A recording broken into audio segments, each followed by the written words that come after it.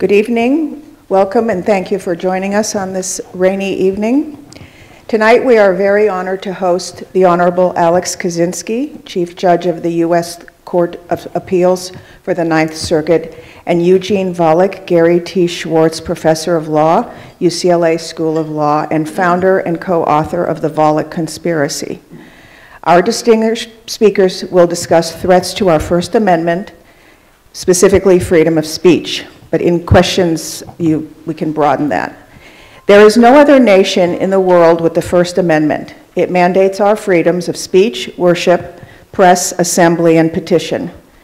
There are forces that are attacking the First Amendment, however, in ways both obvious and subtle. Freedom of expression is a cornerstone of democratic rights and freedoms and is essential in enabling democracy to work and public participation in decision making. Citizens cannot exercise their right to vote effectively or take part in public decision making if they do not have free access to information and ideas and are not able to express their views freely. Freedom of expression is thus not only important for individual dignity, but also to participation, accountability, and democracy.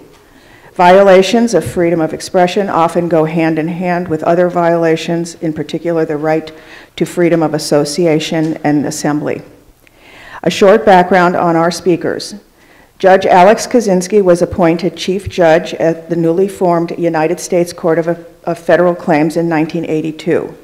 In 1985, at the age of 35, Kazins, Judge Kozinski was appointed to a new seat at the U.S. Court of Appeals for the Ninth Circuit by President Reagan, making him the youngest federal appeals judge, and became Chief Judge on November 30, 2007.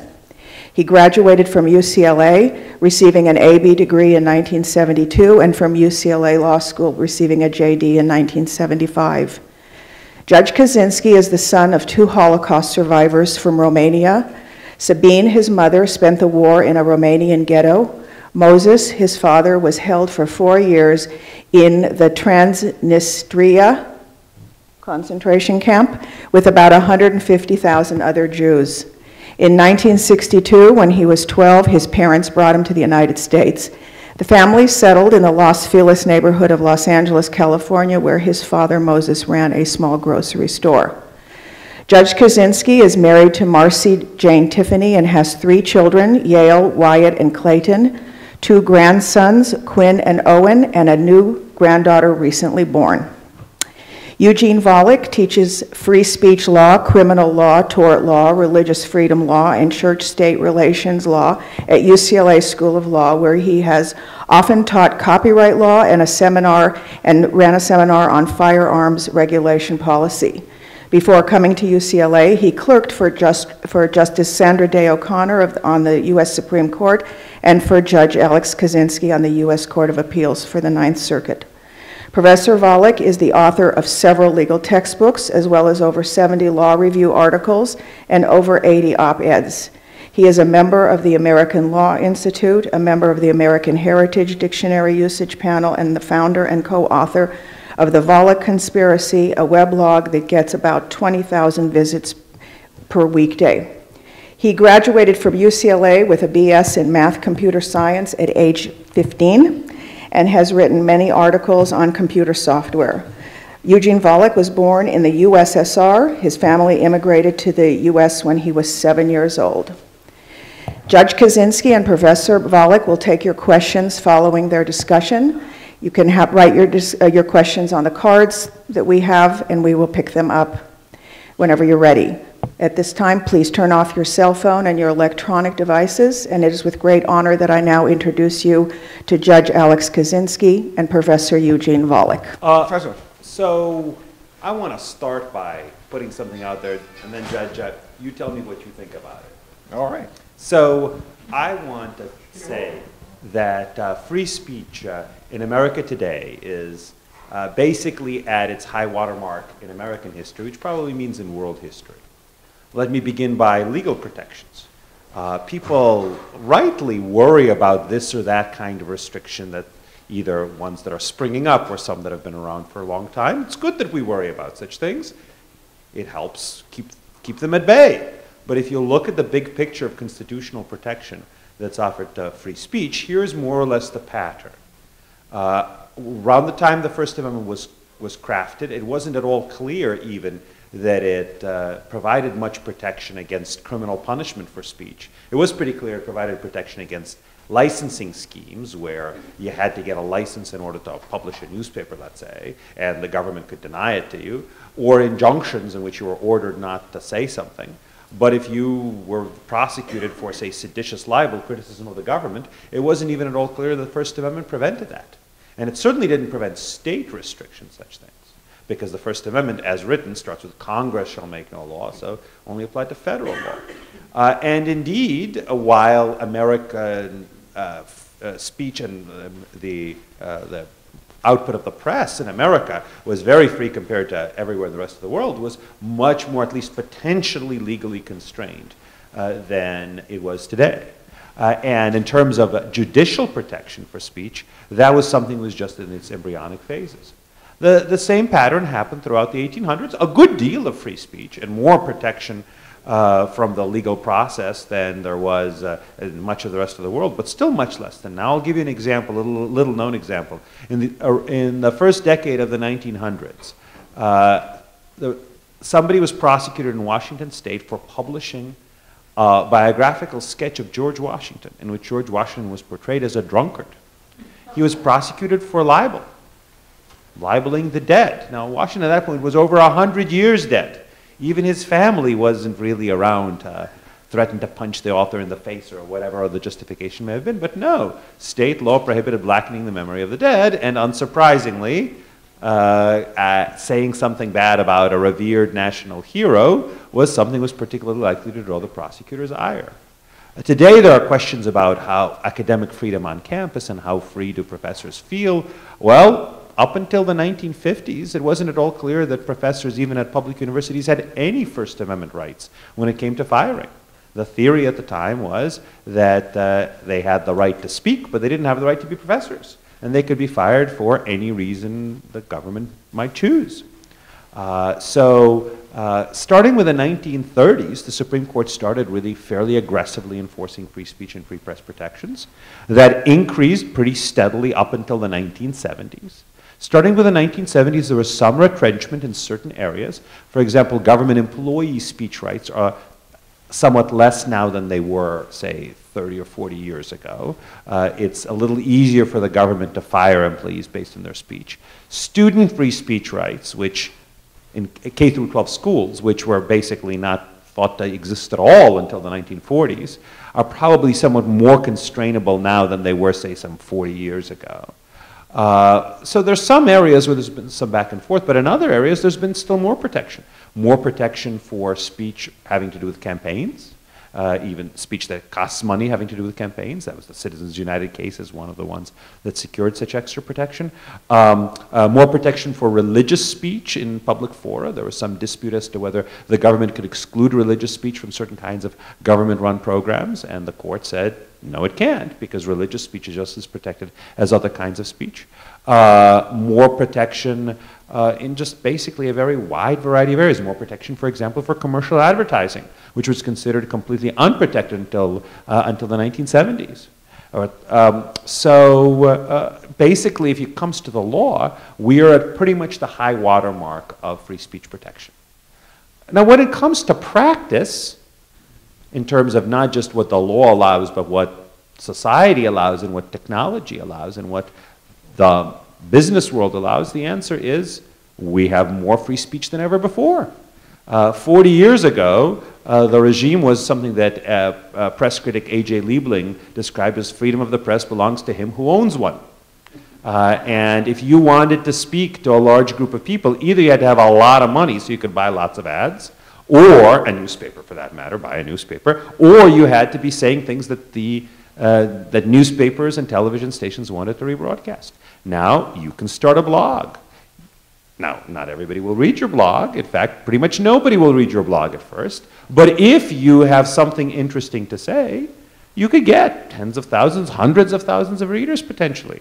Uh, and lots of people do. Of course, there are lots of junk blogs out there, just like there have been lots of junk everything. Lots of junk books out there, are probably more junk blogs because they're so much cheaper to produce. But you don't have to read the junk blogs. You can read the really interesting ones run by people who are really experts in the field, uh, either expressing their opinions or reporting on the facts or whatever else. Uh, so, from the speaker's perspective, uh, it's easier than ever to speak, and there's more and more diversity of thought out there. Even if you're talking about mainstream media, it's more diverse than ever before, at least in the number of outlets, but also probably the political makeup of the outlets before. It used to be in many places, it was pretty much pretty solid liberal group, not so much now. Uh, and, uh, uh, and from the listener's perspective, you have access to all these things, and they're free. You don't even have to pay for them. How much better can you get? Now, as I said, there's a lot of dreck. There's, a lot, there's uh, Theodore Sturgeon, who was a science fiction writer, had what coined what was called Sturgeon's Law. I think a lot of people were, were telling him, oh, science fiction. There's so much dreck in science fiction. He said 90% of everything is dreck. Uh, he may not have used the word dreck. Uh, so, uh, uh, so that's true on the internet. That's true, you know, it's not just on the internet. It's probably true of newspapers out there too. A lot of drecky newspapers. But if you, uh, but it's not that hard to find the good stuff in between. Uh, so there are threats, there's no doubt there are threats, I'm sure we're going to talk about it. But my claim is uh, we should be pretty happy that we've got more both legal protection for free speech and more actual substantive free speech out there than ever before, and I think that's good. What do you think? I agree. All right. Um, actually, um, what Eugene says, I mean, there's, there's much truth to it. In fact, uh, everything he said is true. Not sure it's entire truth, but it, it is certainly true. I, um, I communicate with judges um, all over the world. I'm on this list serve with judges from uh, uh, England and Canada and Australia and New Zealand, uh, just judges from several uh, dozen uh, countries. And uh, there is, yeah, there we go. How about this? And um, uh, and many of these are countries with a tradition of freedom, like like our own, uh, you know, Canada, England, uh, um, uh, and uh, the one way in which you are really quite different from any place else in the world, much more different than in, in, in many other areas of the law, much more different than we are in terms of criminal procedure or um, um, uh, other kinds of regulation. Uh, the, the one way that is truly distinguishes uh, the American system is the um, degree of protection that we give speech. And the idea that we have a constitutional protection for speech, that uh, the, the, there are things that the legislature in its wisdom cannot prohibit, uh, cannot prohibit, uh, just astonishes uh, many of my colleagues from even you know civil rights places like Canada, I mean, very close by places. It, it astonishes them and amuses them. Now, this is not to say that they favor oppression and that uh, their governments would ban many uh, things that we would uh, that that that uh, people would want to do. They in fact have governments that do not engage in censorship uh, very widely, but the idea that you can't, or the government can't do it, uh, is really something that, that uh, they find uh, quite different, quite astonishing in, in, in, ways that they don't find astonishing uh, many other ways uh, in which we run our legal system. So, so, so this, this much um, is certainly true. I was looking, I, I need a crib sheet, unlike the professor, I actually have to uh, look, so I was looking at the Supreme Court cases for the last uh, several years, going back to uh, Citizens United, and um, um, I, I, didn't do a precise count, but it looks to me like of a dozen cases or so. There may be one or two where they upheld, uh, Supreme Court upheld speech restrictions, and uh, in every other case they, they struck them down. One after another, things that are truly surprising, things that you would uh, that almost sort of stick in your throat, like the right to um, to protest a funeral uh, when it's offensive to their families, you know, the Stevens case. Or uh, we have a constitutional right to engage in crush videos, videos of having small animals um, tortured or, uh, or killed. Um, that, there is a constitutional right to that. Uh, there's a constitutional right um, to, um, to uh, uh, video games, to, to have children play video games uh, without government restriction, no matter how violent or sexual or um, the, the, government may not, under the First Amendment, um, um, prohibit uh, the distribution of, of those kinds of materials. And uh, though I just mentioned three cases that uh, I must say I, I was in a sense happy about the result. I was happy the First Amendment prevailed, but that I personally found the outcome a little bit shocking and, uh, and, and, and, somewhat troubling. Uh, so uh, I think uh, what Eugene says uh, about government restriction from speech is, is certainly right. I'm not so sure about the practice, and in some ways the practice may be more important ultimately than, than, um, than um, the than what the government can do. And in many ways, um, the internet has opened up new vistas, and uh, Eugene is right. Uh, you, you, can, uh, you can now publish anything in a sense. You can put it out there and potentially have it be read by somebody.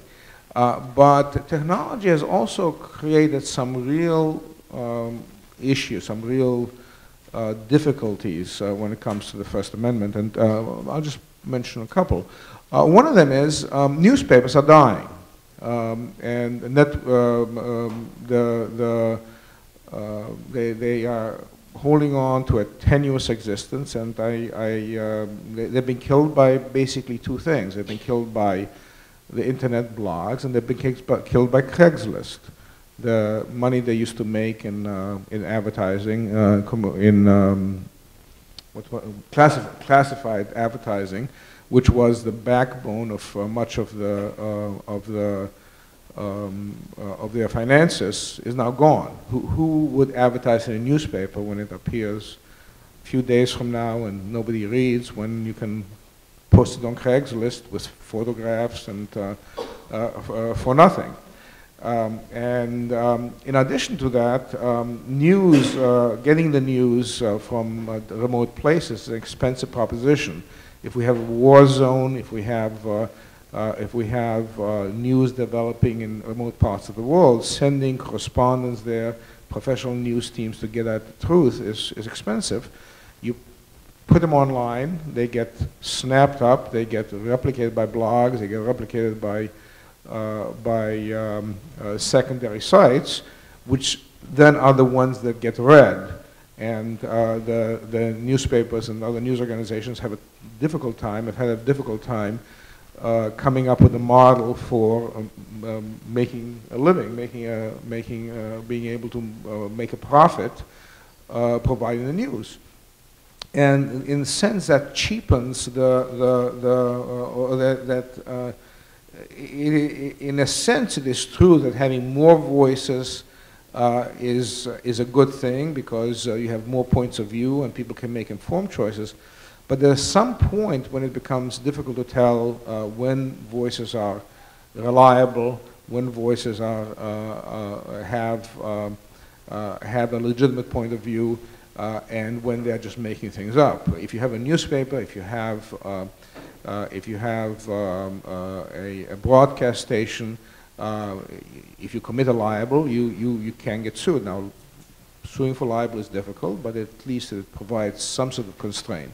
If you are a blogger with a laptop, uh, you can say anything about anybody. Uh, you can uh, Photoshop a picture of them uh, having sex with a donkey and put it online. And if they come after you, what are they going to get? They're going to get you a Mac and, and nothing else. and so there's no uh, in the meantime, if you are the target of somebody's um, um, uh, blog, uh, I don't mean pick on blog, people who post online um, um, um uh, either on blog or on Facebook or tweet or, do these things, uh, um, the, the, the, damage to, to you personally and sometimes the damage to, to greater interests is immediate and the relief you can get in the courts is, is, uh, is uh, limited.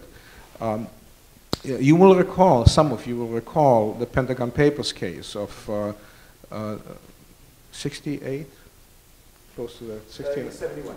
71, same, you know.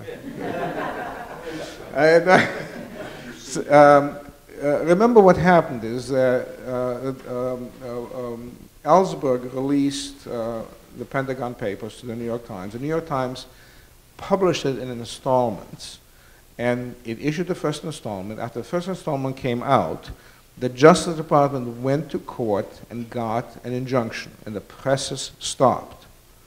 Now, they didn't stop for very long. The, the, the, the process went on for uh, an incredibly short time. There was, from the time the injunction was issued to the time that the Supreme Court ruled, was something like two weeks. It was a very short per period of time. But at least there was a ruling by the, by the courts and eventually by the Supreme Court that said, yes, this is protected by the First Amendment. And while the courts thought about the issue, while the parties had a chance to litigate, while the government came in and made a case as to why this ought to be uh, uh, ought to be um, uh, stopped, why the, why the publication ought to be stopped, uh, nothing happened. The, the, the press stopped and the public did not find out. Now, people think that's censorship, but sometimes when you're dealing with men in the field who are being shot at, military secrets, maybe the ability to enter an injunction and stop things long enough for us to think about is, is, is, is maybe not such a bad thing. Eventually, the Supreme Court said it's protected by the First Amendment, and then the press is rolled. Seven years later, uh, a publication in Wisconsin called The Progressive uh, was about to publish an article about how to build your own atom bomb. A, the government went to court, it got an injunction, and the press has stopped. And the case was litigated for weeks, and eventually uh, uh the, uh, the, the court allowed the publication to go forward. But there was a chance to think about it, there was a chance to, uh, to consider the matter. Today, it's not possible. As you saw with WikiLeaks, uh, uh, again, I, I, haven't read all those materials, but it doesn't matter what it is. It gets online, and at that point, it becomes public and can never be took back. It can never be stopped. And I think that's a danger because, you know, the First Amendment, as strong as it is a protection of speech, part of the way the protection of speech works is through a balance. The idea that you have many voices and one voice will not drown out uh, uh, all the others. Uh, you cannot, uh, you can have much freedom from government regulation, but when it comes to essential interests like national security, there will be the ability to make a reasoned judgment. That is gone. That is now no longer possible. Anybody who gets anything like uh, uh, Dr. Ellsberg uh, got, those, uh, the Pentagon papers, wouldn't bother going to the New York Times that has to go through a printing process. Uh, he would uh, deliver them to, to WikiLeaks or some such website, and they would be online, and there would be nothing we could do about it. So I think that is one danger. The danger of disappearing uh, reliable news sources is another danger. I think another um, danger is the fact that um, you, it is very hard to validate anything on the internet. Uh, it is very difficult to tell uh, reliable from unreliable. Remember the days when Walter Cronkite used to get on the tube and you'd look at him and uh, he just exuded uh, uh, he just exuded uh, professionalism and and um, and um, reliability. Now maybe I was fooled, but if Walter said it, I thought it was the gospel truth, and there was a pretty good chance I was right. Because and nowadays, uh, it is very difficult to tell, and uh, we, uh, we have the phenomenon of people watching more and more news sources, I won't mention any names, that really wind up being uh, vehicles for political points of view and that uh, actually are not, are not there to convey news so much as it is to use news or to use uh, information as a ways of promoting political agendas. Why? Not because they're so committed politically, because that's what sells, that's what uh, gets the eyeballs, and you know, eyeballs is all what it's all about on the internet. Um, so I think those are very serious concerns, and I, I do think that uh, newspapers are dying. My wife uh, uh, was a journalism major before she went to law school, uh, and uh, she left journalism in the mid '90s. And I think even then she realized it was a pretty tough business, but now it's it's awful uh, for all the reasons that the judge mentioned, and I don't really see things improving much. I think when it comes to international coverage. There'll probably be a few newspapers that still keep doing that. Uh, and uh, so I think we'll have the fewer foreign bureaus of the St. Louis, uh, is it Post Dispatch? I always get them confused. Yes, so, uh, and uh, of uh, various other newspapers that are serious newspapers, but not the New York Times, Wall Street Journal, but there probably will be New York Times, Wall Street Journal, AP, and also foreign sources, uh, Agence France Presse and various other places, Reuters, I guess it's a multinational one. Um, but when it comes to local coverage, uh, coverage of local politics or city hall matters and the like, I think it's going to be very, very difficult to maintain that. Now, some of that might be taken up by, say, community blogs or some other such things, uh, uh, which actually would work very well on a local level. But there's a limit to how well they can work without paid staff who are out there with their sources and calling people up and and uh, uh, doing things on a professional footing. I think it's a very serious issue. I don't know what the answer is.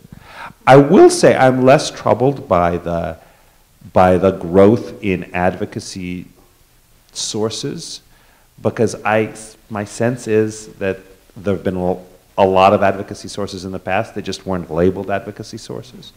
Uh, and likewise, when it comes to accuracy, just setting aside bias and just error, I think newspapers are actually a lot less accurate than, uh, than they're given credit for. And one test is think about news coverage of, a, of an area you know well, say some technical area, say you're a physicist, newspaper coverage of physics. And you probably find a lot of errors and gross oversimplifications to the point that they are virtually errors. Well, that's exactly the same in every other field, you just don't notice it. I certainly notice it with regard to law. So, and part of the reason it's not bias, it's just that there are very few people who have a real law beat or at least, let's say, appellate law beat. Linda Greenhouse writes about the Supreme Court. She has her point of view, but at least she knows the Supreme Court very well. But a typical person writing, uh, writing for a newspaper, could be even the LA Times, a serious newspaper, about, about courts, doesn't really know that much about it. I know this because they call me up and they ask me for a quote. And I talked to them about it. And I don't have much sense that they actually really know what they're talking about. With luck, they understood what I told them, what the other sources told them, but often it gets really mangled. There's one, this is the, not the LA Times, but Santa Barbara. Again, I forget the name of the paper, but pardon, the, the, the press? Just News Press, Santa Barbara News Press, called me up and asked me uh, whether a marina owner is entitled to exclude a boat that has a vulgar name. And, and I see the story, and it says Eugene Volokh said, the, the marina owner has a right to hypocrisy. and then I realized what I said. I said, right to his property. His property. What are you going to do with that? But at least with the internet, at least maybe they'll fix it. But in the print thing, it's beyond that. Look, if he screwed up my quote, and screwed it up not just as a typo, but screwed it up, obviously he didn't understand what I was talking about. Because I gave him a long spiel about how he's got property rights and this and that. If he understood that, he would understand that maybe he had a noisy connection, but we're pretty good at disambiguating things as listeners if we understand the context. He didn't understand the context. So the question is how many other articles written by this reporter and his colleagues have similar errors that we just don't notice. So maybe what I'm saying is it's not so bad now, because it was pretty bad back then too. So relatively speaking, I'm not sure how much we've lost, but I do agree. I think in some measure we've lost something. I think that's right. Let me ask you, change the subject just slightly, Eugene. Um, so I went to UCLA Law School um, in 1972 uh, and graduated in 1975. Uh, you went, what, 20 years 89 to 92. Okay, so, uh, and now we are, so you were more or less halfway between then now. So when I was in law school, I remember I had a professor who in class made fun of my accent. Mm -hmm. And I thought it was funny, terrifically funny. Mm -hmm. And, um, and the story is, so he, he's, uh, this is Jim Krier, he still teaches at Michigan. And when I go to Michigan, people actually say to me, did Professor Creer really make fun of your accent in class? And I say yes, and they expect me to be distressed about it. I thought it was, swell. Now, I am told by professor after professor, um, those who taught then and teach now, that they would never, ever do anything like that in class. Um, whether that they would get into ter terrific trouble and that they are much more careful about making jokes, about making uh, uh, any kind of reference that might thought to be offensive. And that it limits, uh, in many ways, not just sort of uh, spontaneity of discussion, uh, but also makes them much more cautious about being creative in class. Is that the case? So I think it probably is in some measure. Um, but I think one has to look at it from the perspective of an institution, first of all, that has a job to do. And I, as a teacher, have a job to do. I have to not just communicate certain information, but engage the students in learning. And I have to do that job effectively. And the other thing, and I'm, this may be coincidence rather than cause, but it is another factor that I think probably helps this in some measure along, is the students in the classroom are paying a lot more than they did back in your time or in my time. So I figure if they're going to be paying us $40,000 a year, uh, I probably wouldn't be making fun of, of their accents. Some people might react very well to it. Some people might not. Some of the listen, some of the people being made fun of might think it's a great joke, but some of their neighbors might, neighbors in the classroom might feel a little uneasy, uncomfortable about it. And you know, uneasy, being uneasy and uncomfortable sometimes actually helps teaching, sometimes doesn't. Sometimes it's a distraction. So I think with regard to, with regard to kind of politeness of how you treat um, how you treat uh, but, but students. Yes. Some of the point that I was making is nobody thought it was impolite. It was sort of, you know, I didn't think of it, and nobody walked to me afterwards and said, "Oh, do you feel bad?" That you know, everybody took it in the spirit. It, it, it wasn't a mean making fun of my accent. Yeah. It was, it was, it was a, uh, and that wasn't the only example. That happens to be the one that that, that I remember. You know, and I wonder if people have gotten more sensitive or more, uh, yeah. uh, and, and, whether the uh, idea that it's not just what you say in class, but that somebody might be out there with a iPhone mm-hmm. taping yeah. or videotaping, and the thing that in context of what you was, yeah. uh, that in class and with your class, with your students, mm-hmm. and I don't just mean students, I mean mm-hmm. in many other yeah. contexts, city council meetings, all sorts of things like that the, the thing that in context may seem to everybody present may seem perfectly benign, once it is clipped and put online, becomes your political death or your your your uh, yeah. Uh, and I, I wonder whether that is not one of the private ways in which speech is being suppressed or speech is being the spontaneity and the freedom of speech is being being, being repressed. Yeah, so, so it's an interesting question. There are a lot of things going on there. All of them I think are quite important. So one is social taboos, and maybe not quite taboo. You wouldn't get thrown a volcano for it, but it's kind of social things that are, that are frowned upon. Those have been around for a very long time. Uh, they've changed over time. I mean, it used to be the taboo was saying, say, vulgarity is in front of women. Well, you know, uh, that's, that once fallen by the wayside. Uh, is it good? Is it bad? Well, it's different. Things change in some measure along those lines. And a lot of the taboos are not just, uh, uh, not just about form, they're also about substance. There are certain things that people wouldn't want to say because they were, they were seen as so outrageous. Uh, that, that they would be a black mark in one's career and such. So I think some amount of that has, has always been around. It's shifted some. I will say that, uh, uh, that I don't think making fun, it sounds like your experience with Jim Krier wasn't that he was, he was being impolite to the point of being rude, but I'm not sure he was being affirmatively polite. I don't think if Miss Manners were teaching a class, she I loved it.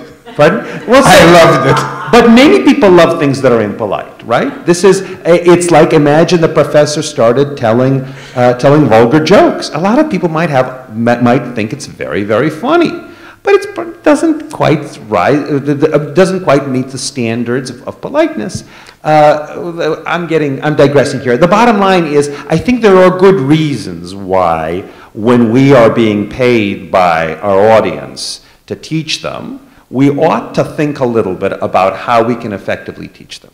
Now, if that means that there are substantive points that we're not going to be making, that I think is no service to them, and it's untrue to the mission of the university. And I try very hard to make sure that I don't censor myself as to the substantive points. But as a matter of form, I mean, just even little things like it used to be, at least according to the paper chase, it's a movie, must be true, uh, that professors really would kind of mock students who make mistakes and such.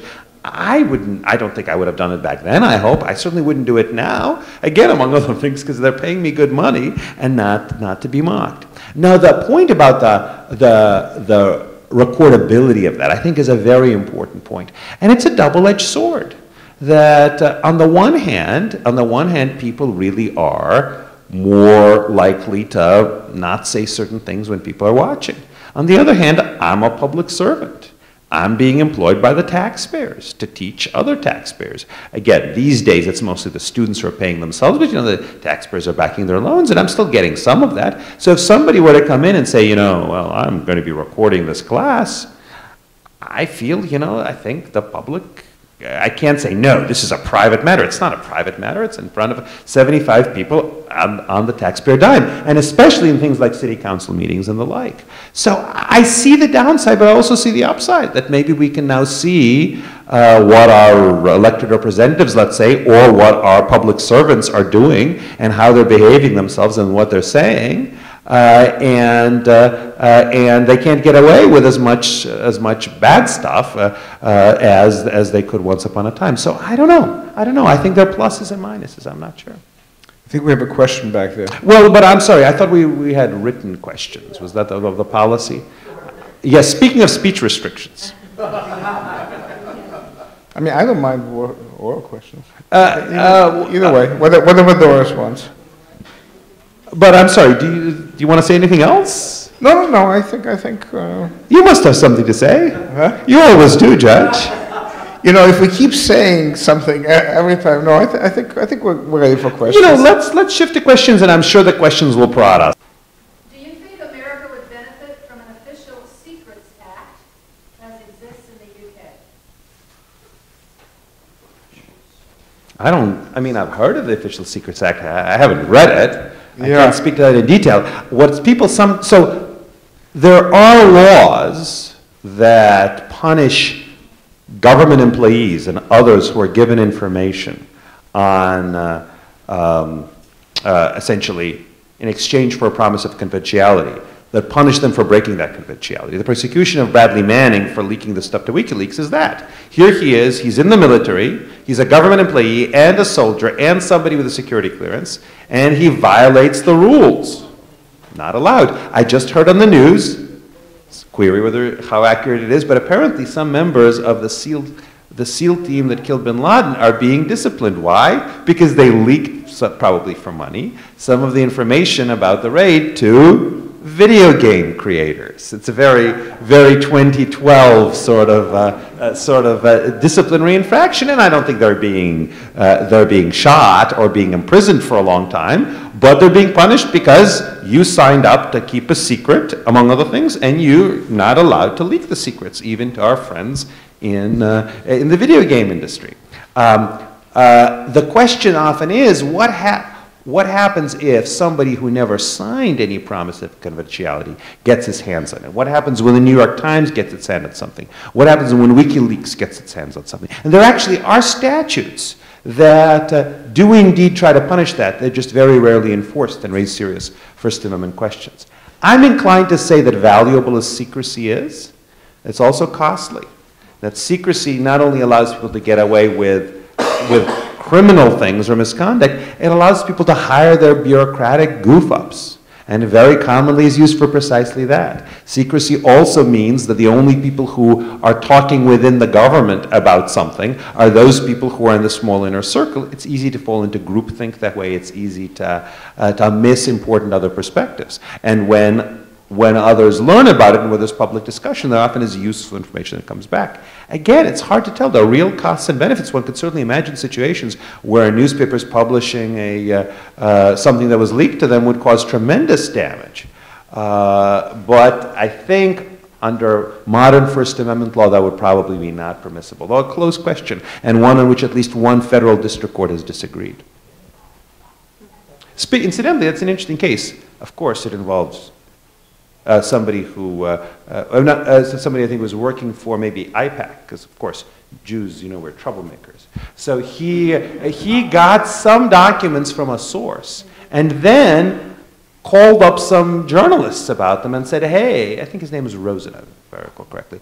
Uh, hey, um, uh, here are these interesting documents, so I want you to run them. I think in part because he thought that they revealed uh, some uh, insufficient support for Israel by the part of the administration or something along those lines. And then he was prosecuted. Remember, he wasn't exactly the ultimate publisher, but he was a speaker. He was communicating this information to the newspapers, and he never signed a, uh, a non-disclosure agreement, never signed, never got a security clearance, wasn't a government employee. So he really was in the shoes of, say, a New York Times or a WikiLeaks that might be prosecuted. Uh, and there was a federal uh, district court decision, so a trial court decision, that held that he could indeed be prosecuted for this. And for some reason, it never made its way up uh, on appeal. So it's an interesting question. Can UN resolutions supersede the United States First Amendment or any of the constitutional rights of the United States? UN resolutions? Mm-hmm. No. Good. No. No, I'm with you on that. The one, the one concern is, and there are some international law scholars that actually say this is not a bug, it's a feature, is that uh, the doctrine, the First Amendment is written there in the Constitution, but it's not very precise. The protection that we have of free speech comes from case law, from precedents written by judges. Why do judges decide the way they do? Because of their particular worldview. Uh, they're bound by precedent in considerable measure, but when the question is what precedent to set, that's a big influence. And it turns out that a lot of the precedents in the mid 1900s were set by judges who had a very broadly pro free speech worldview. When, if there looks to be an international consensus somehow developing along among people that judges find influential, maybe even when they're young law students, when they're first kind of acquiring their sense of things, it may be that a future generation of judges will internalize the norms of these UN resolutions and say, not, well, the UN resolution trumps the First Amendment. That they would not say. But that, well, the right way to interpret the First Amendment is something other than what other judges thought some decades ago. And why do they do it? Maybe even subconsciously because they're influenced by that. So that's why I do worry about attempts to kind of generate international norms that are speech restricting. Well, uh, give you an example. Um, remember Harper versus Poway schools? Yeah, yeah. Uh, uh, I think the case is that I can certainly talk about the case as it was when it came to Yeah. us. It, it may still be bubbling somewhere. So, um, uh, in 19, si- uh, oh God, I forget the, those dates again, but somewhere there in the m- middle of the Vietnam War, the Supreme Court decided a case by the name of Tinker uh, versus Wisconsin. Des Moines. Des Moines. One of the Wisconsins. Yeah, one of those. Des Moines. The, oh, it was Iowa, not Wisconsin. Yeah, exactly. Okay. One of Wisconsins. See, this is why it's good to have the professor here. Uh, but the important thing about Tinker is it was a bunch of school kids who wore black armbands to school and uh, in protest of the war. Did I get that much right? That's right. Okay. And uh, the Supreme Court said, well, uh, school children are citizens, are people just like everybody else. They come to school and they cannot be prohibited from expressing their views in ways that don't disrupt the class. So uh, armbands are obviously very passive and they have a right to, to, to uh, you know, that's, it's not like they're uh, using a megaphone or they're, they're, they're um, uh, standing up in class and disrupting the class by, by, by, by making speeches. It's a passive thing, and they're entitled to express their views. Uh, and uh, this is a generally held view of the First Amendment that if you're a school kid, if you're a child in school, uh, you, you have limited First Amendment rights, but nevertheless you have First Amendment rights so long as you don't interfere with the class. Uh, so, uh, so we had a case um, that put that proposition to the test about uh, uh, three or four years ago. It's called Harper versus Poway Schools. And this was a case where a student wore a, wore a T-shirt that had an anti-homosexual message. Um, I, I am going to have to um, dredge my memory as to exactly what it said, but it was something like uh, men should not do that which God believes to be uh, wrong, and uh, on the back it had something similar. The school didn't do much to him. Basically, it said, "Go home, son, and get a clean shirt, get, get, you know, or put on something about." It. And the justification of the school was uh, and he said, well, it's just like the armband. I, I you know, I, I am in class, I'm not disrupting, I'm not making any speeches. Uh, I am entitled to express my point of view. Particularly since a day or two before they had had um, uh, various school activities which uh, he construed as being um, uh, uh, supporting homosexuality or sexual um, uh, um, people of different sexual orientation. And his view was that uh, that is contrary to his religious belief, that, and he felt that he should express a point of view in opposition. Uh, it came to us, I, uh, I heard the case with uh, two of my, uh, you know, very smart and, you know, colleagues that I, I truly value, Judge Reinhardt and Judge Sidney Thomas, truly to the brightest uh, and fairest uh, judges we have, and we came to different conclusions. Um, I said it's just like a, it's just like the armband, and they said, well, no, this is different because this hurts people, and other students viewing the message, if they are of a different sexual orientation, they would feel hurt by this. And this is a situation where you take something that, that essentially the, the consensus liberal point of view works just fine so long as you agree with the message. So what you had was, I think, judges in Washington, justices in the Tinker case that had doubts about the war, saw this was a legitimate point of view, and this is how they, they came out and decided the Tinker case. Now you have people using the same message uh, or the same methodology to convey messages that are not um, uh, uh, then you, you, you, then people sort of uh, this is consistent with what Eugene was saying. You start viewing the uh, the the the the, the uh, world from a different perspective. So one of the arguments that was made is well, the armbands didn't really attack anybody. It's not like the T-shirt. But I'm thinking, well, what if you're another student? And uh, your older brother has just gotten shot and killed in Vietnam.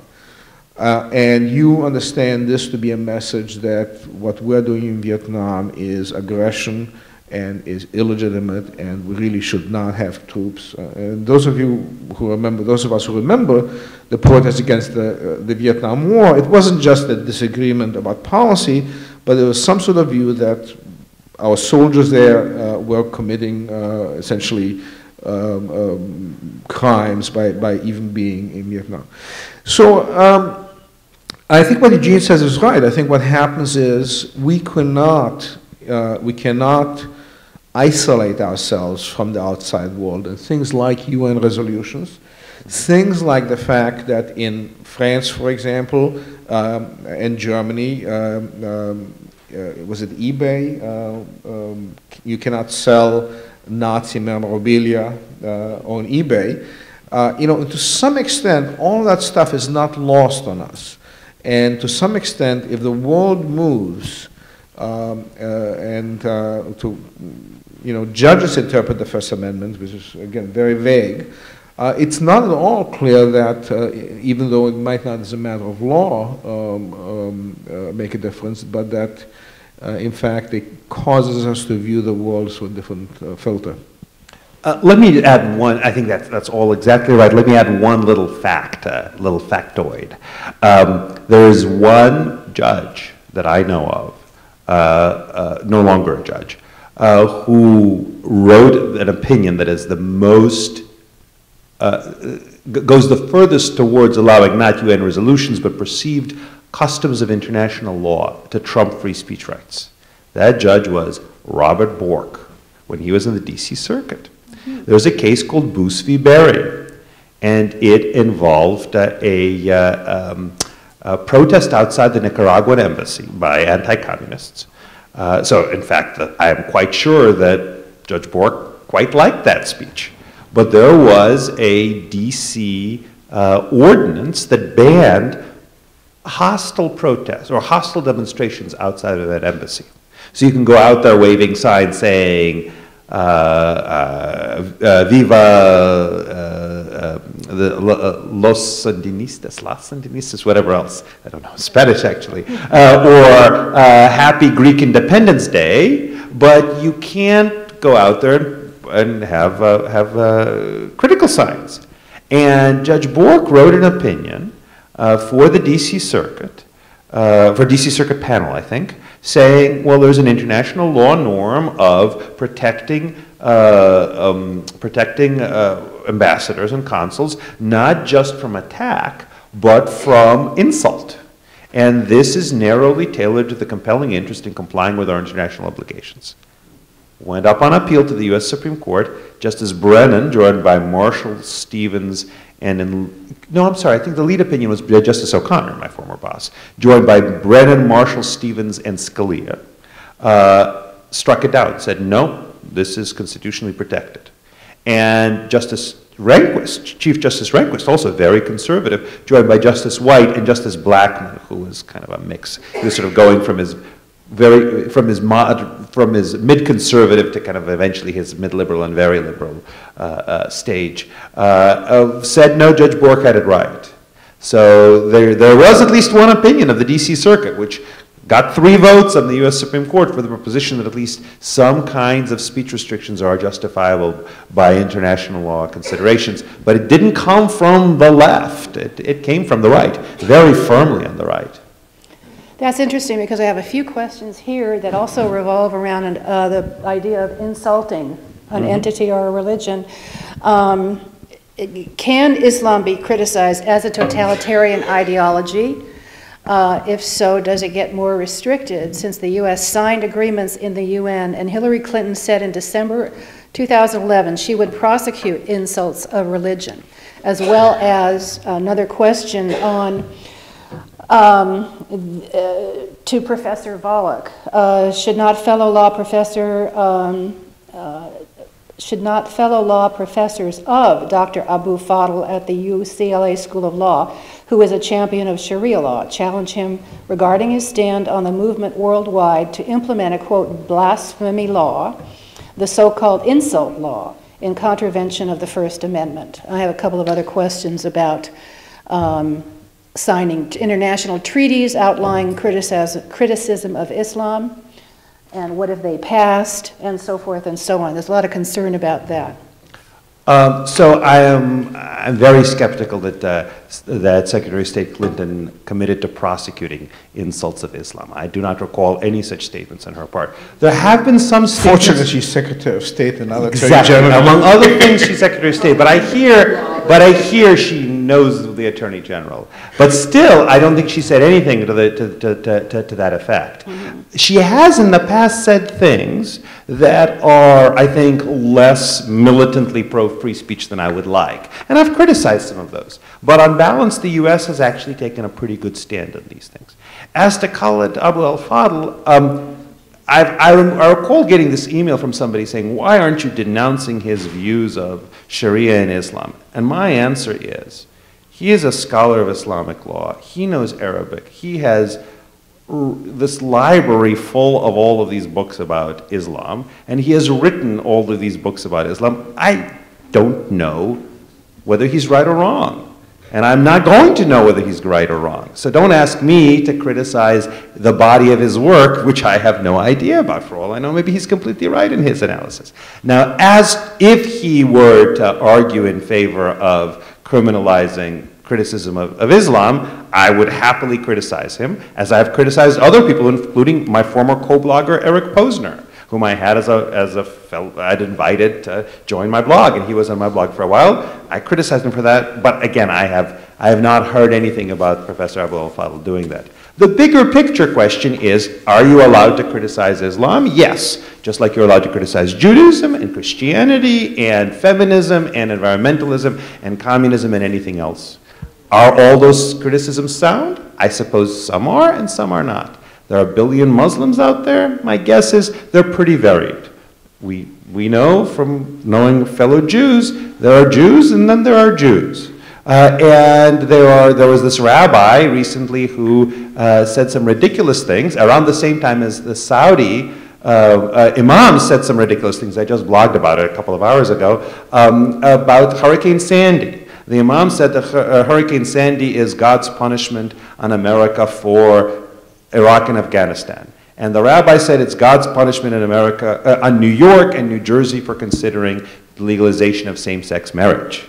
So now my sense is there are more sort of people with zany views like that in Islam as a fraction of Muslims than there are as a fraction of Jews. Still, there are a billion people out there, and I would be hesitant to say all Muslims believe this or Islam somehow inherently means this, just like I'd be hesitant to say Judaism inherently means this or Christianity means this. So some of the criticisms of, of Islam I think are overstated, some I think are quite right, and all of them are constitutionally protected. I don't see any action on the part of our government right now at least, or in the foreseeable future, trying to restrict that. Foreign governments is a very different story. But our government has generally, on balance, been pretty good on this.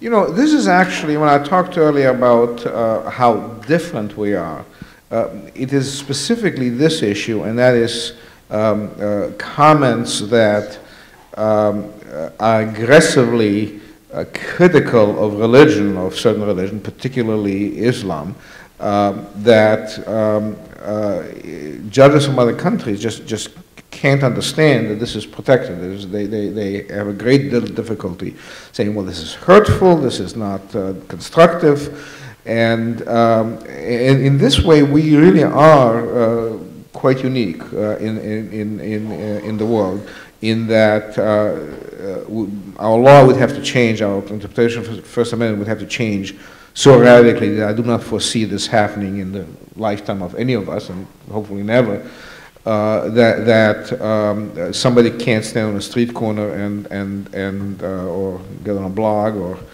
get a microphone and criticize uh, bitterly um, uh, any religion. Whether it's a wise thing to do, whether it's a constructive thing to do, that's an entirely different question. Uh, but uh, I, I, think we're, we're pretty safe in that regard.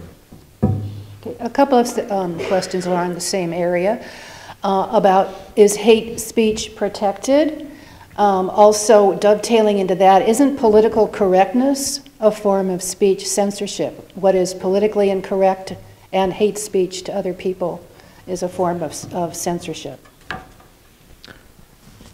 Well, it depends. I mean, it depends what you mean by hate speech, but generally, hate speech is protected. Uh, uh, there, there, are really only very limited categories of speech the Supreme Court has said are not protected. Things that are, um, um, well, copyright infringement, of course, mm -hmm. to, to, begin with that. Um, um uh, uh, uh, defamation. That, that's the word I was looking for. The, defamation, and even defamation, if it is against a public figure, is, is very difficult to prove. Uh, there is uh, uh, fighting words, which means you say things that are likely to cause somebody else to hit you in the nose. And it's that limited. Has there ever been a case where anybody has gotten um, prosecuted for fighting words? You know, it's actually not that uncommon, or it's not common, but not that uncommon in lower courts. The Supreme Court has never had a published opinion since 1942. Chaplinsky. Up, since Chaplinsky, up, upholding such a conviction. They happen occasionally. It's almost always really face-to-face insults. It has to be face-to-face. You say something that, that, causes somebody to actually result. And it's got to be about him. It's not just expressing a view that he really dislikes. It's got to be you yeah, or your mother or something. You know, exactly. So, so, especially your mother. Especially your mother. So, so it, it, but it's that limited. Uh, there is incitement to riot. There's yelling, uh, yelling, um, fire in a crowded theater. Falsely yelling. If it's Thank true, you. going to be good. yeah. Uh, falsely yelling, fire in a crowded theater. And I think, have I left? Threats. Threats and child pornography. Yeah. Threats, that's right. Threats yeah. is an important one. And if you get outside of those narrow categories, it's pretty much uh, uh, not uh, possible to, to, to, to, prohibit. So, you know, hate speech, uh, there are various things that can happen to you uh, civilly, and the various things And I was talking about sort of non-governmental restrictions. Uh, very bad things can happen to you, particularly with the internet. Uh, you uh, identify who you are. You can get you can get your uh, if you have a Facebook account. You can you can uh, you can get tons of emails. You can get threatening notes yourself in the mail. There are all sorts of things that can happen to you on a private basis. But as far as the government is concerned, it's really uh, uh, very difficult and probably legally impossible to do anything. No, I think that's exactly right. There is no hate speech exception. People talk about hate speech and everything. In fact, I think one of the successes, unfortunately, of those who have called for some such exception is to make people think hate speech is a bit of legal labeling, kind of like fighting words or obscenity or threats, so therefore it must have legal significance. But it's not. The Supreme Court has never recognized a hate speech exception, and in fact, it's rejected calls for those, for, for those kinds of exceptions. Certain kinds of things that are labeled hate speech might be punishable as threats. If you say, I'm going to kill you because of your race or sex or whatever else, or for that matter, I'm going to kill you, period, that's a punishable threat. But there is no hate speech exception. Political correctness, kind of like hate speech, but even more so, is one of those labels that is just so vague and broad that I think it's not, not very helpful to analysis. Is it true that there are certain things that there are social sanctions for saying? Yes, that's true. As I said, that's always been so. In some measure, that's right. There ought to be social sanctions for people, let's say, insulting one another on a variety of bases, including race, religion, sex, and so on and so forth. Uh, is it true that if you go out there and, uh, and uh, um, for example, uh, criticize same-sex marriage, then people might look at you funny, and very, very rarely, but sometimes you may actually get fired from your job? Yes, that's a bad thing. That happens in some measure. Again, I'm sure that it happened in the past. It just wasn't about same-sex marriage, it was about other things. Obviously, advocating communism once upon a time got you fired understandably. Uh, but likewise, other things would have as well in the past. Uh, advocating atheism, criticizing the government in time of war, being seen as unpatriotic. The fact is there are going to be social sanctions, including some economic sanctions, uh, that are imposed on people who are doing or saying uh, things that are seen as rude, indecent, and so on and so forth. Some of that's good, some of that's bad. But it's not like some new thing. It used to be back in the 30s and 40s, you could say anything you pleased and you'd never get fired for it, you'd never get shouted at for it, you'd never get socially ostracized for it. Of course you could. And some of that, as I said, was proper and some of it wasn't. It's, I think, more helpful to ask about specific questions, such as whether there is risk of firing at a private university or disciplinary action or something like that at a university than to talk about uh, using the label of political correctness. In fact, uh, in the 30s, uh, Hollywood had the code uh, where if you want to see a movie, it would be subject to the censorship. Yeah, yeah, yeah. I, forget what the code was called. But, uh, Hays. Hays, yeah. there we go, a code. And, um, you know, I agree with Eugene, I think to some extent, the ability to exercise private sanctions for speech is itself a form of expression. Uh, I have not gone to see a Jane Fonda movie since she went to Hanoi. I, I just won't do it. I, I, uh, I, I don't advertise it, and it's not a big deal now, but I simply stop wanting to spend my dollars uh, going to. Uh, and that's, that's my way of expressing myself. It's a, it's, it's a quiet way of doing it, but this is my means of expression. So I, I think there's something to be said for the idea that if people say things that you find offensive, that there are sometimes private and sometimes organized ways in which people who say those things should be made to suffer. It's now much easier with the internet. If you want to have a group, if, if somebody says something publicly that you dislike, uh, you may you know, we may also want to stand up for uh, their First Amendment right to say it, and that they should not get punished at all. But if it's really something that we find offensive, there's a First Amendment right also to organize and make them suffer some civil consequences from that. Mm -hmm. Speaking of movies, although not very good movies, does the new uh, proposition regarding, regarding the use of condoms in adult films impinge upon the First Amendment rights of filmmakers? So you. You so- ask him, I just- So this sounds funny. This sounds funny, but this, it turns out, actually, um, is a, kind of, once you start thinking about it, you reach a question that came before the California courts in the mid-eighties, uh, that I don't think anybody's had a really satisfactory answer to. Generally speaking, the fact that you're making a movie doesn't give you the right to break the law. So the Crush video ban said you can't distribute any movies that, uh, it wasn't just Crush videos, but that depicted animal cruelty. But it's clear that if there's an animal cruelty law, you can't say, hey, I get an exemption from that. I want to go out there and torture this bunny because, after all, I'm making a movie in which the bunny is supposed to be tortured. You don't get any exemption for that. Uh, so that's all well and good. Uh, let's forget about the condoms question. Uh, people who make pornographic movies generally, I guess these days supposedly there's, there, they don't have to do that anymore, but they used to have to pay actors and actresses to be in it. So they're paying people to have sex.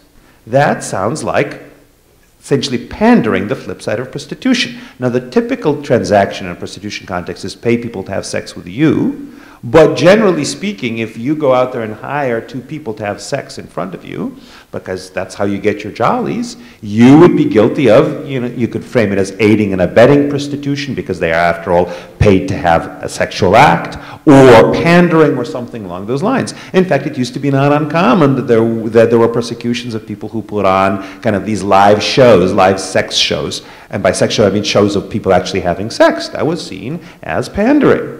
Well, how is a pornographic movie maker different under that law? Forget about the content of what they're doing. In the process, they're paying people to have sex. So this issue came up to the California Supreme Court, and in People v. Freeman in 1989 or so, it, the court said, well, no, there is a First Amendment right here to hire people to have sex. And I think the theory was if you want to make a porn movie, which you have a right to do, you have to do this. So applying the law in this kind of situation. So long as you don't enjoy it. Exactly. So long as you, the filmmaker, don't enjoy it. Exactly. Maybe there'd be a compulsory rule that only gay men could make uh, could make uh, movies Straight- straight- straight, sex, right. and only straight men and with gay sex. That, that, that might be a, might be a, Well, what, what about the orgy movies? Yeah, that would be hard. That would be difficult. Um, in any event, it never came to that, but the court actually said that. So I suppose you could argue that I want to make a movie which shows sex in the natural without this condom getting in the way, and I can't do that.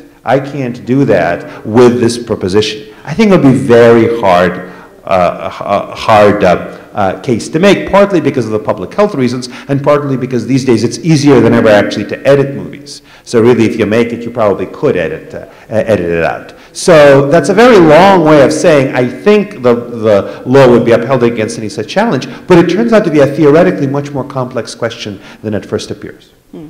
prior restraint. Prior restraint is not a very helpful term uh, in these kinds of situations. Um, I was just doing a declaration in the case trying, today, trying to explain the difference. It's uh, what is and is not a prior restraint is hard to tell, among other things, because all laws that punish speech after the fact deter it before the fact because people are afraid of being punished. Conversely, uh, often the very reason you, you try to restrain speech before the, uh, uh, beforehand is the very reason that, uh, uh, that punishment is imposed because of, of the danger that, that, that the speech poses. As a result, it turns out that the legal doctrines having to do with prior restraint used to be very important back when subsequent punishment wasn't seen as clearly triggering the First Amendment. That's what I said was happening around the time of the framing of the Constitution up until the early 1900s. These days, it actually doesn't, that label doesn't do as much work as, as it might first seem. Um, If making a threat is not protected free speech, then why wasn't Ahmadji- Ahmadinejad prosecuted at the UN for stating uh, that he would like to annihilate Israel? UN? Diplomatic immunity? Yeah, liking to do yeah. something, Pardon? uh, liking, I mean, Yeah, I don't, I don't know what exactly what he said. Yeah. I think There are many maybe- things we'd like to do. A threat is uh, something that's very narrowly defined, uh, and um, it is, it is a, uh, you actually have to uh, convey the idea that you plan to uh, cause somebody physical harm, uh, and either directly or conditionally. Uh, I'll cause you physical harm if you don't do X, or if you do X, or just you wait, I'm going to come after you and put a bullet through your head, something, something like that. So that, that, that would be a threat. Uh, saying, gee, I, you know, drop dead, or I wish you were dead, that's not a threat. Um, I mean, if that, were, if that were a threat, a lot of people would get Yeah. prosecuted. And it's especially true if I wish all Jews drop dead, I wish all Muslims drop dead, or whatever else. At that level of generality, the law stops viewing it as a threat and more as a statement of political ideology or a statement of desire or whatever else. It's what is and is not a threat is act, itself an interesting, also and difficult question. We've got lots of those that came up uh, today. Uh, but generally speaking, the more specifically targeted a particular person it is, the more likely it is to be a threat. Uh, The, the other thing that's necessary for a threat, you have to have the apparent ability to carry it out.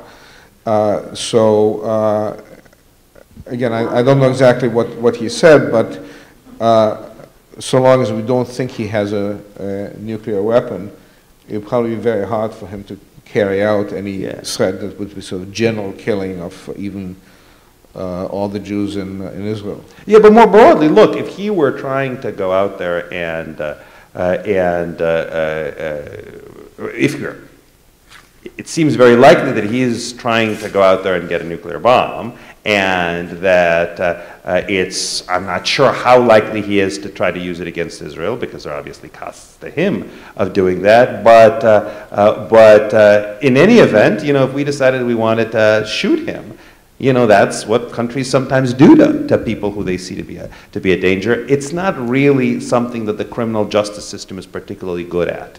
Foreign policy can be handled through wars, it can be handled through various other things.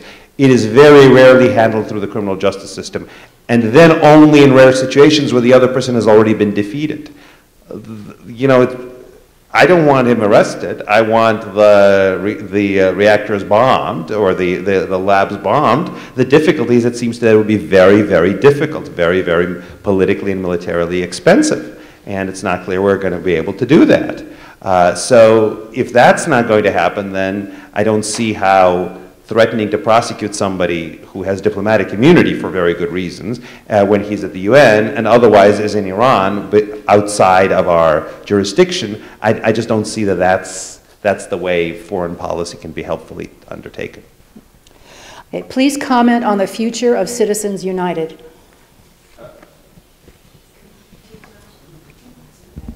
Clearly correctly decided opinion by the Supreme Court, very solid. I can't imagine it'll be overruled. I think that's right. So Citizens United, remember, held that corporations and unions have the right to speak about candidates. It had been long well established that corporations and unions have the right to speak, among other things because most media organizations, most newspapers are owned by corporations. The first case recognizing uh, any free speech claim, essentially striking down any government action on free speech grounds in the U.S. Supreme Court came in 1931. The first case involving uh, striking down government action Uh, uh, restricting the speech of a corporation came in 1936. The first case acknowledging the free speech, the free speech rights of non-media corporations came in 1941. So that was always well established. The question is whether there should be an exception for unions and corporations when it comes to speaking about elections. And for a while the court said yes, then in Citizens United said no. The question is what's the future? I think the question is who, uh, who on the court is going to be retiring and when, and who's going to be elected in 2016. If Justice Scalia or Justice Kennedy, just to give the example of the two justices in the majority who are, who are the oldest and therefore most likely to retire, retire uh, within the next four years, Ju- uh, President Obama will replace, will appoint a substitute who very likely will take what's kind of now the standard liberal view that Citizens United is wrong and, and it seems to me likely that they will have little compunction about reversing it, about overturning it, overruling it.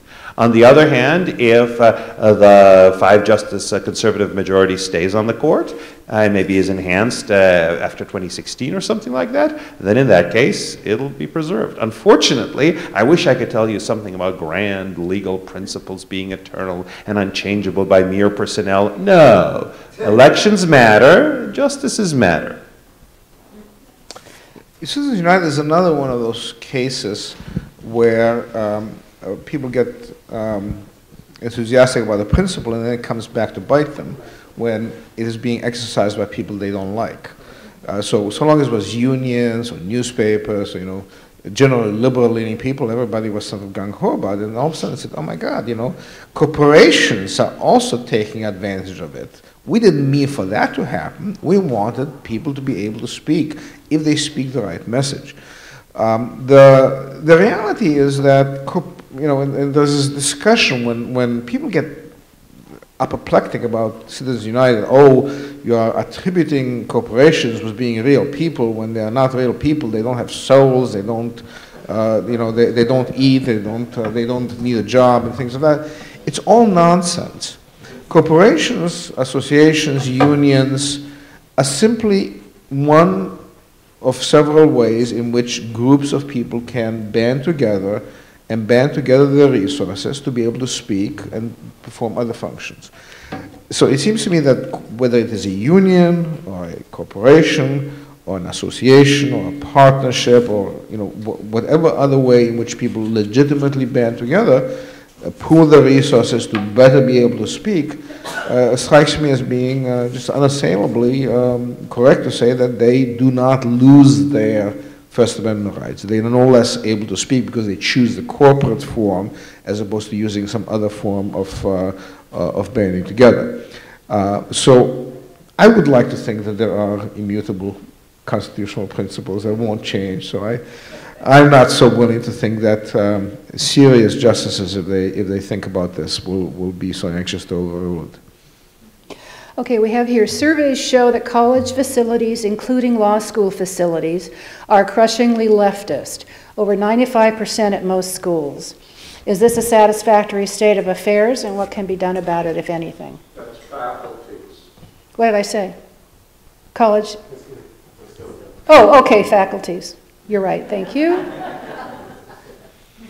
I College love my leftist professors. They so I was able to sort of push against them, and it sort of honed my, you know, I thought, I thought they were great. I could stand up in class and argue with them. I loved it. Made me, made, made me more committed to my way of thinking. Um, I, I think the numbers are a little high. I don't think it's 95% there. It's so as to some universities, it's not so as to the aggregate. There's still, if, it's not 95%, it's not very far off of that. So uh, the thrust of the question, I think, is sound. I don't think it's optimal. I don't think it's optimal for, uh, for teaching. I don't think it's optimal for scholarship. I think that we're more likely to get the truth out of a battle of ideas, and you, you want to have people writing on both sides of a debate. So I think that it would be good if we had more conservatives uh, in the fact uh, in the academy. Uh, there's not a lot I think can be easily done about it. Um, I think there's some degree of discrimination against conservatives, and I think that needs to be fought, but it's not easy to fight because among other things. For, uh, if you're hiring a, a, a, a professor, uh, the, the colleagues have to evaluate his work. It can't be sort of a, a content neutral judgment. Now, you could say, well, it should be content based but viewpoint neutral. You should evaluate the work without regard to whether you agree with the viewpoint. And I think that's right. And I think honest professors on both sides of the aisle do that. The difficulty is it's very hard to do that, right? Because if you think, if you're on the left and you see somebody on the right saying things, by definition, they're going to be things you think are wrong. And it's human nature to assume that people who say things they think are wrong are probably not very smart or not very good at what they do. Or, or not, or not very rigorous in their analysis. Exactly, we're not very rigorous in their analysis. Now, of course, the right thing to do is to say, well, I'm going to try to set that aside. I'm going to see what their argument is and see if it's a plausible and well-crafted argument. But that's very hard to do because it's human nature, again, to cut slack to people on your side when it comes to whether the analysis is rigorous and to be super picky about people on the other side. So I think it's very difficult uh, to solve that problem. There's also another problem, which my sense is there are a lot of conservatives who aren't really that into doing that. I think culturally, liberals are more likely to value academic life, and conservatives are more likely to value business lives. It's not exclusively so, but I think there's some degree of that tendency. So my sense is that there are a lot of very, very smart, well-credentialed, for example, um, uh, conservative uh, law school grads, a lot of whom just want to become lawyers. That's true of many liberals too, but I think there's also an interest gap as well as possible political discrimination. So I think it's a real problem. It's somewhat overstated in some respects, but it's a real problem. But it's like many problems, it doesn't have a really good solution. You know, Eugene is one of the uh, few professors out there that has actually, in a prior life, been an entrepreneur. Um, I, don't know how many of you know, but um, um, he, he uh, wrote code and ran a business with his father, uh, a computer business, um, long before it was fashionable. Right? Um, but uh, it is true what they say, by and large, uh, Eugene being the exception, that those who can do and those who can't teach. Mm-hmm. Uh, uh, but it's more profound than that. I'm, I'm not saying that many professors, if they wanted to or had to do, couldn't do but it is a, it is a choice to, to choose a lifestyle where uh, putting yourself on the line, either by being a lawyer, being an entrepreneur, being, being a businessman, where every day you have to be out there in the marketplace uh, um, uh, competing and doing the things that the businessman is just not, not appealing, uh, where they find the academic life uh, much, much more appealing. And probably they are not they wouldn't be that good at it if they if they went out there. And certainly comparatively they're much better at teaching than at actually uh, doing and um, it turns out that uh, people uh, of a conservative bent uh, either because they come from families where that is uh, the, you know that that are involved in doing things and and have actually seen what running a business or what being in a profession is like, uh, they, are more likely to go to that. So, so it's hard. It's hard to attract uh, a lot of conservatives into into academia. Uh, the, I, th I, think the uh, I know a little bit about the the, the pool, uh, at least in the legal market, uh, of people who go into academia. I, I know about the sort of market of law clerks who then move on to, to many of them go on to academia. And the, the pool is decidedly uh, liberal. And I don't think it's an outgrowth of the fact that they went to schools and they were turned into liberals. If you look at who they are and, and, and uh, the families they come from and the uh, upbringing they have, and the, you know, they, they, they started out on that side of the fence, and that's pretty much where they stayed. You know, here's one data point. Uh, uh, I hadn't thought of it until I brought this up, but when I clerked, there were 39 law clerks.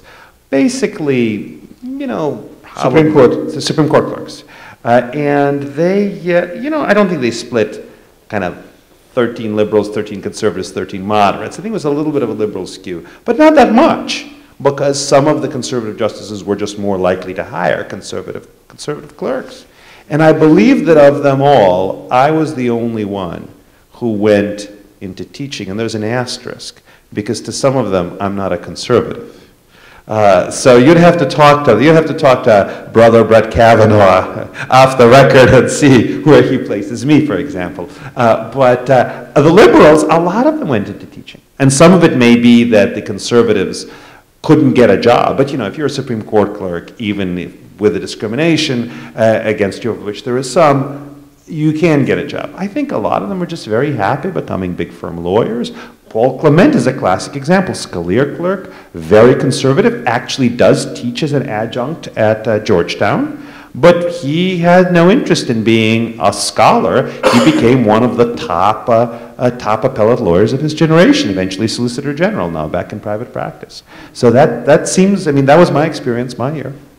Well, the year I clerked at the Supreme Court, uh, for those of you who are not lawyers, Supreme Court clerks are the very uh, uh, cream of the crop of any any year of law school graduate. The, the ones who make the Supreme Court are really uh, the very uh, highly, most highly credentialed.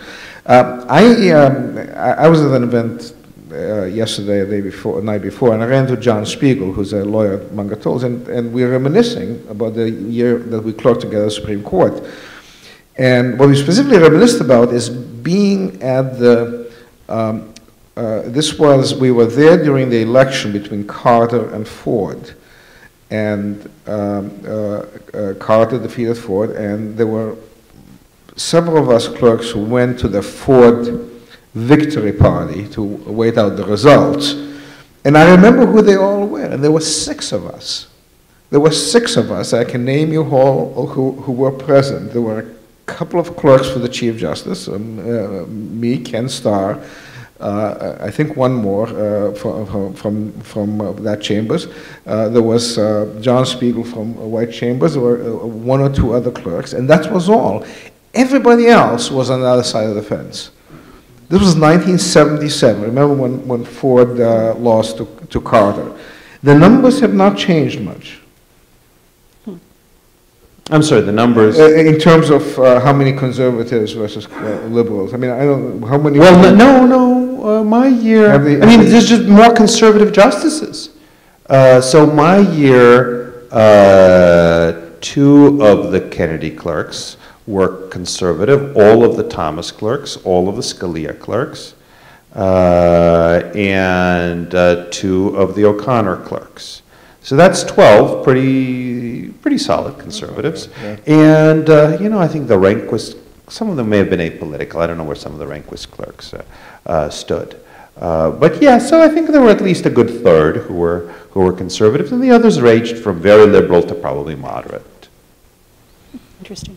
Okay, uh, little change of subject here. What do you think of the HHS mandate regard- regarding religious organizations, schools, businesses, and hospitals, uh, forcing them to provide contraceptives and abort- abortifacient drugs despite the moral teachings they are obligated to, fo- to follow? It seems the federal government is acti- actively trying to squash freedom of religion. Judge, do you want to just stick to free speech? Religious freedom is, and it's another very thorny question. I mean, thorny, very complicated question. Or do you want to, I mean, you want to answer it? Yeah, I think we probably better skip that one. It might come up. Yeah. Yeah, it may also, it may also come before the judge in a future case. Oh, I see, okay. Um, I haven't heard about this one. Have you heard of an effort to place um, regulation of the internet under the UN? You know, I heard mutterings. I, I- I don't think there's any there there. But, you know, if somebody has something you want to email me, I'd love to have a look at it. Hillary, Hillary's discussing that, you know, Is it? coming under agenda twenty-one. You know, as I said, if you have some hard data on it, drop me an email. I'm, I'm skeptical about such claims. Again, I heard mutterings. I don't know of anything that, that actually is, fits that bill. And um, one more quickie, is issuing a fatwa, i.e. Khomeini and with Salman Rushdie, protected by international law? Or is that just non-applicable to international law? I don't know much about international law. Yeah, I don't know much about Uh, international law. one thing I know about either. international law is there's no place to go enforce it. Yeah. Yeah, I mean, it's, We don't have international police uh, except Interpol arrests people for domestic crimes. if a country wanted to punish somebody within its borders for issuing a fatwa, that would be not violation of international law. It's, it may or may not be punished, uh, uh, a protected speech uh, within the country's domestic legal system, probably wouldn't be. Uh, but uh, it's, it's not, so it's not like an international law affirmatively protects the issuance of fatwas. Uh, international law does make it hard for a country, let's say, to go out there and kidnap Khomeini, let's say, in 1982, and bring him to some other country in order to have him stand trial. That, I think, international law would have a thing or two to say about. But as usual with international law, the real problems aren't the international law problems, they're the geopolitical problems. That nobody really cared enough about Salman Rushdie to actually want to go out there and start a war with Iran over him, and understandably. I mean, I, I say as somebody who did care a lot about Salman Rushdie, but I still wouldn't, didn't care enough about him that I would want to start a war with Iran uh, over him. So it's not really a matter of international law, really. It's a matter of what can and cannot be done. And the bottom line is foreign heads of state and other such people, whether they're Ahmadinejad or Khomeini, are largely untouchable. the freedom of speech seems to be protected. How come the video that erupted in Egypt and Libya suddenly wasn't protected? And Hillary, of all people, said this is a disgusting video that incited the Middle East. So where is freedom of speech protecting that video as compared with everything else that should be protected? So, um, so there are several things going on here. One is the administration's mis, misattribution of the Benghazi incident to the video, or apparently that had really nothing to do with the video. Second question is administration's criticism of the video. I think was misguided in some measure, but the administration is perfectly free to criticize speech. Government, uh, first of all, some of the officials have their own, in a sense, free speech rights, but even when they're speaking wearing their official hats, that's one of the things the government does, is it speaks, it criticizes, it counter-speaks. That's something it's entitled to do. Now, the video itself is, is out there. I don't think it's been taken down. It's been blocked in some countries, but it's out there. So the interesting question is about the, the jailing of the guy. So, so it turns out, so you may have heard the story about the probation uh, restrictions. So it turns out he had some, what had happened is he had been involved, I think, in some computerized fraud scheme. And he was imprisoned for some years. And then he was let out, I can't be quite on parole, because there's no federal parole as such. He was let out early, maybe because of good behavior credits or whatever else. But he was then essentially on probation. Usually the supervised release, isn't there? Yeah, so, but I don't think it was standard probation. Somehow, in any case, let's just assume it's supervised release, just standard probation. Um, so, there was one condition is that he can't access the internet. Another condition is he can't use aliases. So, here's this guy who has this probation condition. He posts stuff on the internet using aliases, and using aliases in a way that is, doesn't defraud people out of money, but certainly puts the actors in a difficult spot. Also, if you recall, he originally said there are 100 Israeli Jews who are funding it. So, so on the one hand, people say, and I, there's something to this, well, look, if it wasn't so incendiary, nobody would go after him. On the other hand, federal prosecutors aren't exactly notorious softies on people who violate probation conditions. So if so when people say, well, they wouldn't have gone after him, I scratch my head and say, well, I imagine some federal prosecutors I know. Let's say somebody called up and said, there's this guy who has who's posting this video of kittens.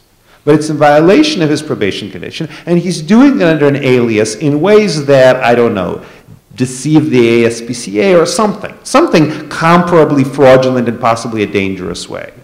Would the prosecutor say, eh, who cares? Those are just, those aren't really important probation restrictions. Cut the guy some slack. Or would the prosecutor say, hey, we let him out early on condition that he not do something. He broke the rules that we imposed on him. We like enforcing rules. Not only did he break the rules, he broke the rules in actually a way that jeopardized somebody, not, not just offended people, but jeopardized somebody. And what's more, the rules had to do with not cheating, and he's a convicted cheater, and it looks like he was cheating people. Yeah, I figure a prosecutor would probably try to send him back to jail for a year. The problem is it comes across to the rest of the world without this nuance.